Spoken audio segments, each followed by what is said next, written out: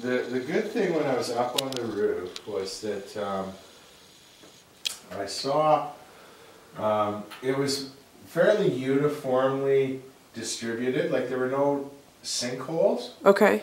in it. Um, sinkholes would be